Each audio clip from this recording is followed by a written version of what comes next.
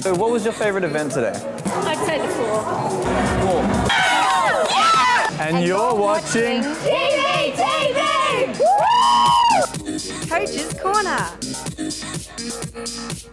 I'm here with Emma Taylor. Emma, thanks for speaking with us. Now, how long have you been coaching rhythmic gymnastics for? About 15 years. So you have lots of experience and you've trained lots of girls. Now, how do you prepare girls for a competition like the Victorian Championships? Um, well, I guess it's a part of a big picture in a, in a year of, of events. Um, we have several state trials. This year we travelled to Perth for their state championships in the lead up to our state championships just to get a bit more competition experience, especially for the younger girls that, you know, the state championships is a, is a big event for them. So the more competitions they have under their belt, the more confident they feel. Excellent. And so, after the Victorian Championships and Nationals, what is the next goal for these girls? Um, for the top girls, our top senior in Victoria is Taylor Tirajo, certainly Commonwealth Games. Um, I guess in the big picture, Olympics in Rio. Um, but yeah, for now, we've got a couple of girls that are really focusing on Commonwealth Games. And what sort of competitions or trials do they have to go through to get to this Commonwealth Games? Um, at, they select a shadow squad from the Nationals, um, and we'll have a training camp in December. And then um, next year there's Pacific Rim, which again need to be selected for the Australian team. But with three in Pacific Rim team and three in Commonwealth Games team, you know, if, if you can make that first team, you're looking pretty good for Commonwealth Games. Excellent. And lastly, how do you think the girls will go at the Victorian Championships? Um, hopefully, really well. Um, we've got girls in most sections, and in years before, we've won every section that we've entered. So hopefully, we can do that again this year. Well, good luck and thank you very much. Thanks. We're now here with the rhythmic gymnastics, and I have Emma Taylor, a coach of 15 years, who's helping me commentate today. Emma. Here we've got Charlotte doing her ball routine.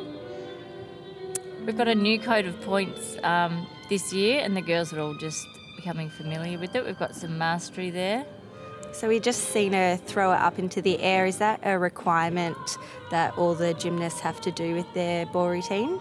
Um, yes, you do have to have a variety of throws, um, and every difficulty they have has to have different handling. So bounce there in a balance you saw, and then she did a throw in, a, in another balance. That's a risk element she's just done, where the girls have to catch immediately after um, a rotation or during a rotation. These top level girls can have three risks in um, in each routine. And that's mastery there, catch behind, you know, out of sight and no hands. Nice attitude pivot.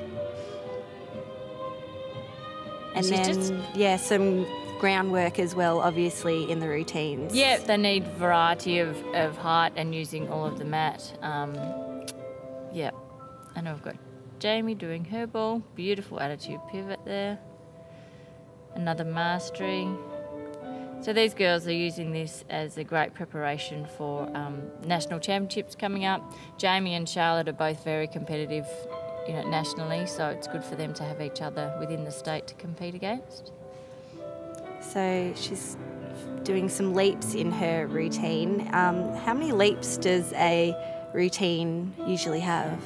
Uh, well, the new code is far less structured. You used to have specific number for balances, leaps, and pivots, but now um, it's much more flexible. They have to have at least two, at least two leaps, but some some girls will have up to four. And we've got a very, very beautiful leotard there as well. How many leotards do the girls usually have in a competition? Usually, the girls at this level usually have one for each apparatus, so four. And we've also, um, with this new code, got So the got Emily Barrow up now.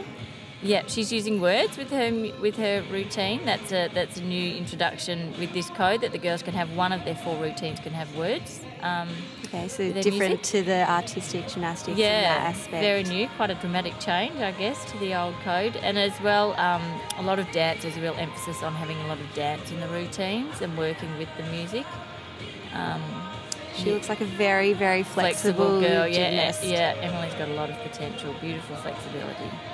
Um, that back split roll there, not many girls can do it as nicely as that. But they do have a lot of flexibility with what skills they can use. So the more flexible girls obviously use the really flexible skills, whereas other girls, um, yeah, certainly couldn't be that. Yeah, definitely not. She does it so well. yeah.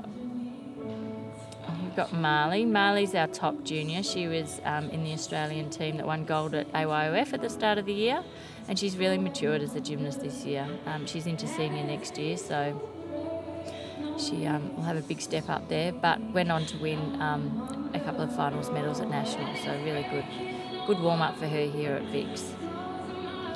Beautiful elevation on that leap.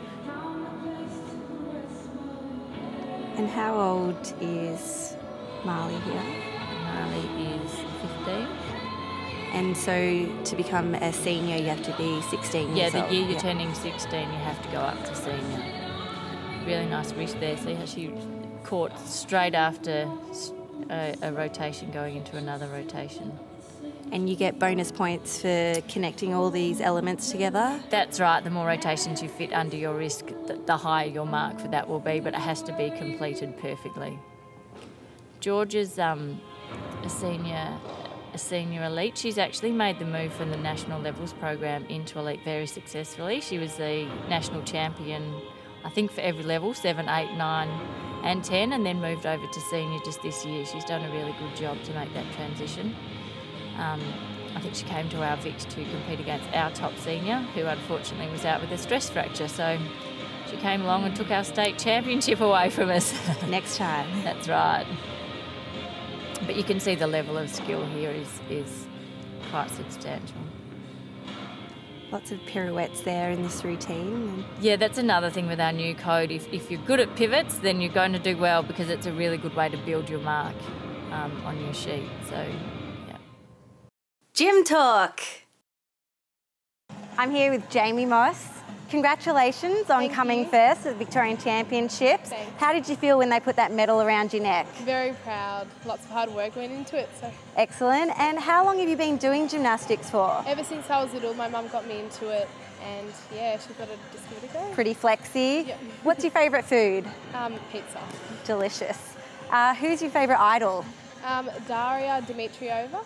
She is a really amazing Russian gymnast, and her routines are really funky and fun to watch. Cool. And are you competitive or do you like to have fun? Like to have fun, definitely. And if you could be an animal, what would you be? Probably a monkey, because I think it'd be really fun. Cool. And what are your future goals? um, just to improve, really. Um, yeah. Excellent. Thank you very much.